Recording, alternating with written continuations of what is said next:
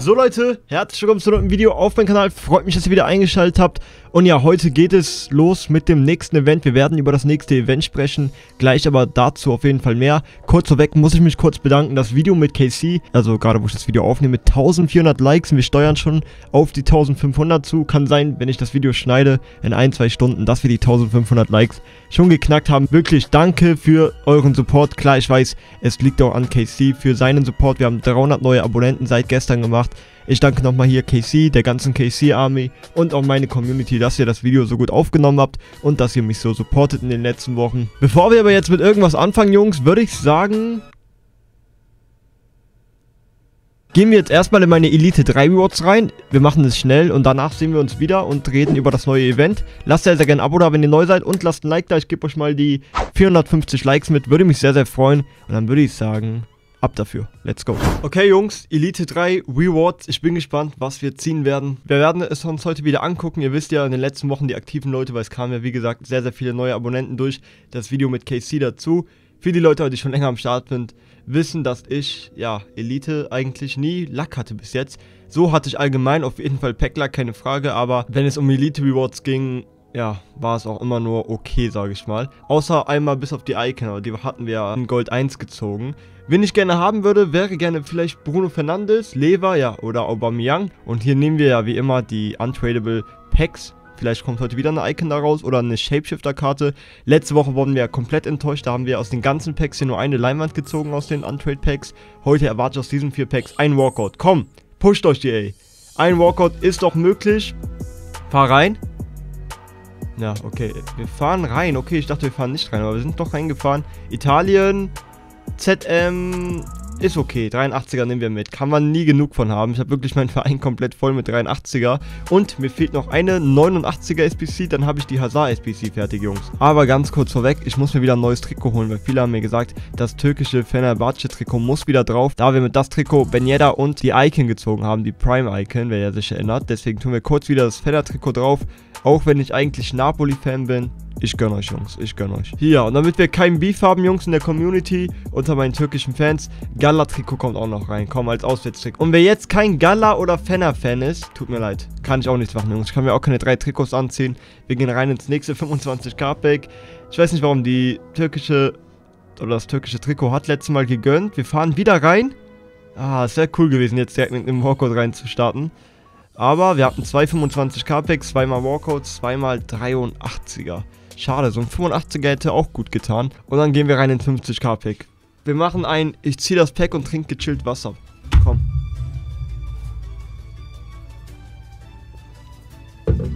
Komm. EA! Was ist denn mit, mit euch heute los? 50k-Pack. Untrade. Kann doch nicht sein, das ist ja wirklich Schrott. Kommt alles in den Verein. Können wir ja sowieso nichts mit anfangen. Dann gehen wir ins nächste 50k-Pack rein. Komm, nein, ja doch, die Nase. Gönn jetzt die, ey. Jetzt erwarte ich einen Walkout, sonst wirklich, Jungs, nächste Woche keine Untrade-Packs mehr. Geh rein, fahr rein.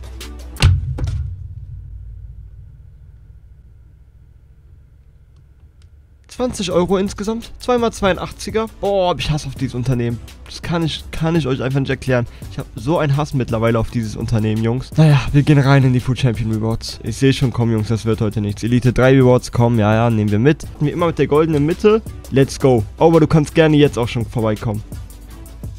Okay, oh, was nehmen wir denn hier? Ich werde sowieso nichts spielen. Dann nehme ich einfach mal high-ratedste Spieler mit, Jungs. Und das wäre dann, ja, Fernando.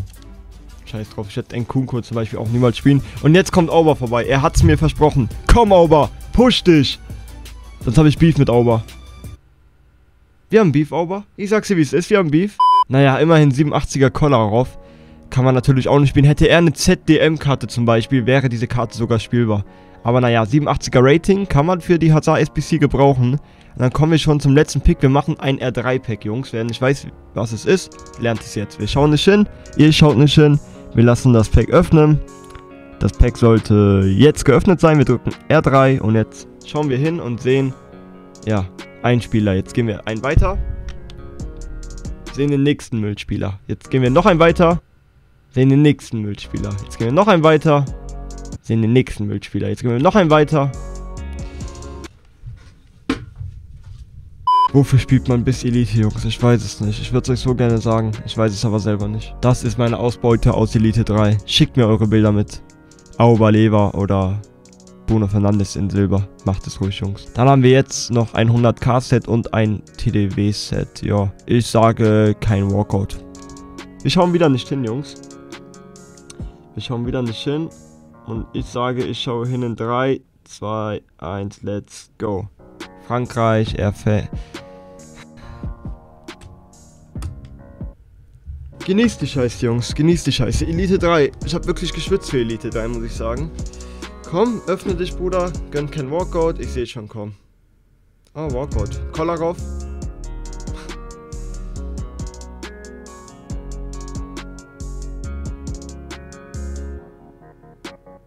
Warum wird der überhaupt als Walkout mitgezählt? Der kostet doch 10.000 Coins, Alter. Bruder, was waren das für Rewards? Bruder, was waren das für Rewards? Jungs, glaubt mir, für die Leute, die jede Woche probieren, bis Elite zu kommen. Lohnt nicht, wirklich. Das ist nicht das erste Mal, das ist bestimmt schon das zehnte Mal in diesem FIFA so. Lohnt nicht, wirklich, no joke, lohnt sich nicht. Und das sage ich nicht gerade aus Wut oder so, weil die Coins kann ich mir auch ertraden, die ich gerne hätte aus den Packs. Aber klar, was zu ziehen ist halt immer ein geiles Gefühl. Aber ich kann euch einfach sagen, für zu Hause lohnt sich nicht. Ihr müsst nicht auf Krampf auf Elite schwitzen und so. Ich mache es nur für den Content, dass ich euch wöchentlich irgendwelche geilen Rewards liefern kann. Aber ansonsten beiseite damit, Jungs. Ja, ja. Scheiß drauf, Jungs. Wir gehen jetzt wieder rein ins Video. Ja, Jungs, ihr habt es gesehen. Also wirklich es lohnt sich nicht bis Elite zu spielen, das kann ich euch auf jeden Fall sagen. Und das sage ich jetzt nicht durch einmal Elite erreichen, das sage ich jetzt schon durch etliche Male, die ich Elite erreicht habe. Dieses Jahr irgendwie lohnt es sich nicht. Letztes Jahr, glaube ich, hat man ja noch in seinem Infopack mindestens einen 81 Plus Spieler bekommen. Keine Ahnung, Jungs. Ich weiß es nicht. Schreibt mir eure Meinung zu den Rewards sehr, sehr gerne in die Kommentare. Ich kann euch nur sagen, ich freue mich jetzt schon extrem auf die Team of the Season Zeit, weil man da wieder dann die Top-Spieler in den Player Picks haben kann und es dann doch interessanter wird. Bevor wir aber starten, wollte ich sagen, Tactics hat dazu gestern auch ein Video gebracht. Checkt es sehr, sehr gerne ab. Ich verlinke euch das mal auch in der Beschreibung. Wenn ich es vergesse, spamt mich in den Kommentaren voll, aber ich gebe mein Bestes, Jungs. Dann wird es auch in der Beschreibung verlinkt sein. Checkt es auf jeden Fall ab. Er geht, glaube ich, nochmal genauer auf das Ganze ein. Und er geht auch auf ein paar andere Sachen ein. Ich habe mir auch nochmal ein paar andere kleine Themen gesucht. Damit ihr in den nächsten Wochen keinen Verlust macht, habe ich mir nochmal Spieler rausgesucht. Zeige euch hier im Hintergrund jetzt gleich die Graphen. Und zwar geht es um das Food Player Days Event. Erstmal dachte ich mir, okay, ich bringe dazu doch kein Video. Und dann kam gestern nach Tactics Video gefühlt die Nachrichten, ja, in Minuten rein bei mir was hältst du von Tactics Video, was sagst du zu den Player Days, dann dachte ich mir, okay, komm, bringe ich auch mal dazu was und sage dazu meine Meinung. Okay, und zwar haben wir das neue Event, ich habe es jetzt mal hier so in den Ordner getan, dann können wir immer so auf Sachen dran zoomen, finde ich ganz cool.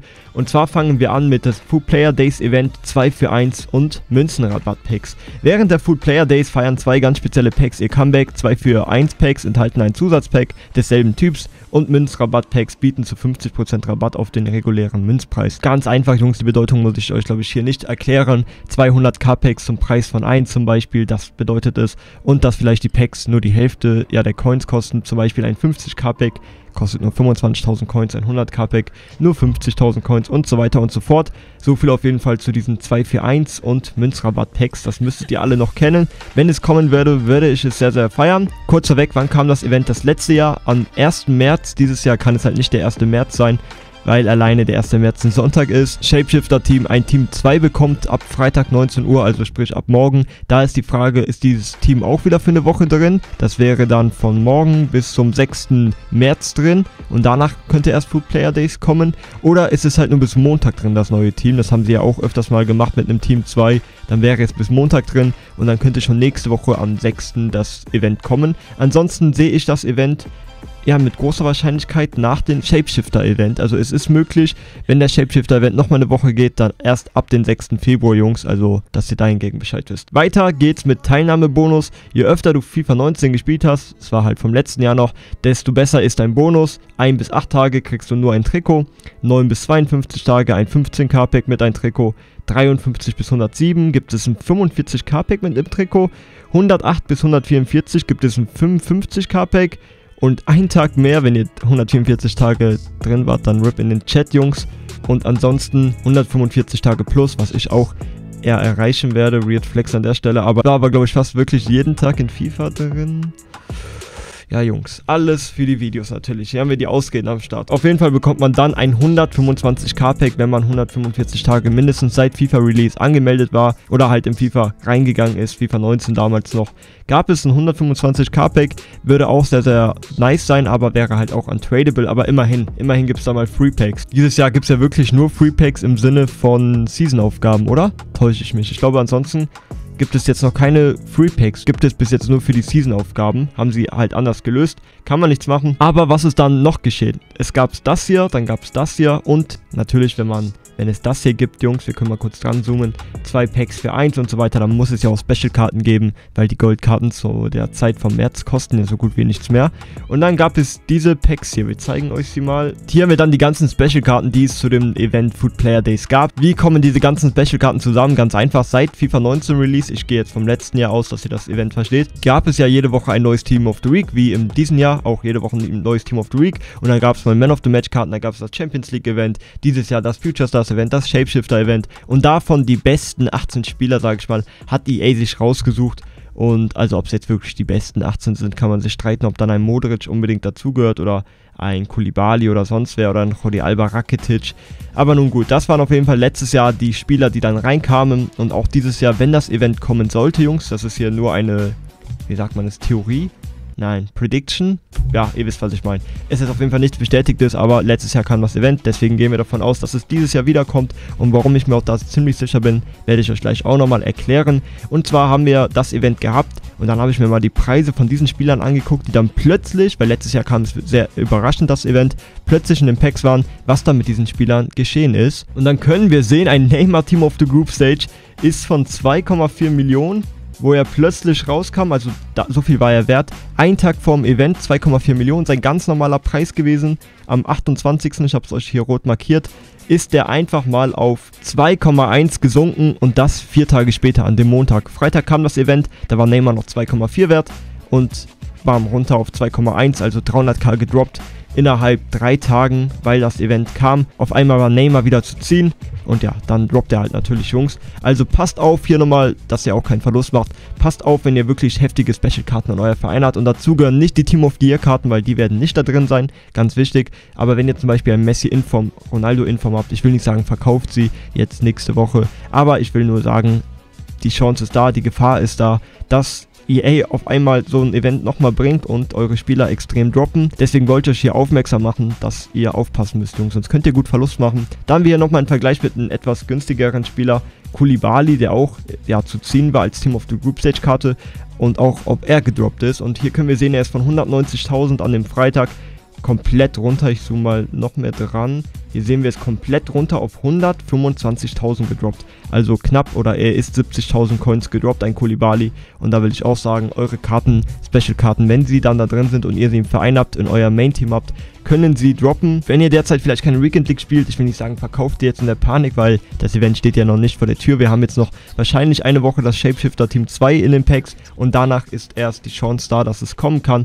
Aber ich will euch halt nur aufmerksam machen, dass ihr aufpassen müsst, weil wenn ihr einen Spieler habt und wie gesagt, er dann in den Team ist, könnt ihr Verlust machen. Und ja, es ist viel Verlust. 70.000 Coins sind schon viel. Für eine Karte, die nur, ich sag mal, nur 190.000 gekostet hat, ist einfach mal 70k gedroppt. Und dann kommen wir nochmal zu der Icon SPC. Da wird doch irgendwas im Titel sein und ein lustiges Thumbnail sollte da auch entstehen. Mit einem Fernrohr oder so habe ich mir irgendeine coole Idee ausgesucht. Schreibt mir eure Meinung in die Kommentare, wie ihr das ja, Thumbnail fandet oder wie ihr Idee findet. Und dann kommen wir jetzt zu der Icon SPC. Habe ich euch auch nochmal einen Screenshot rausgesucht. Hier hatten wir es im letzten Jahr, die mit Icon SPC, weil ich glaube, es ist wirklich so, also wirklich die mit Abstand größte Frage, die ich bekomme, plus Flipping-Fragen bekomme ich auch sehr oft. Das ist wirklich heftig, weil wir warten alle auf sie, auch ich warte auf sie. Letztes Jahr kann ich euch sagen, ich habe es eben nachgeschaut bei Foothead, kamen sie am 27. oder 28. März, lasst mich nicht lügen, einen von den beiden Tagen. Und wenn das Food Player Days Event vorher kommt, deswegen wollte ich es euch auch nochmal im Hintergrund zeigen, wenn das Food Player Days Event kommt,